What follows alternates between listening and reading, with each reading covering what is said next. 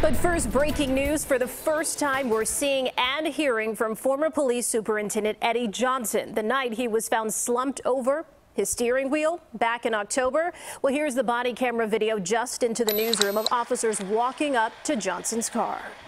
You just sitting here or you want to go home? I'm good. You good? All right, sir. Have a good night. Johnson initially lied, saying he passed out because of a mix of drugs involving his blood pressure medication. We later learned he had been out drinking for hours.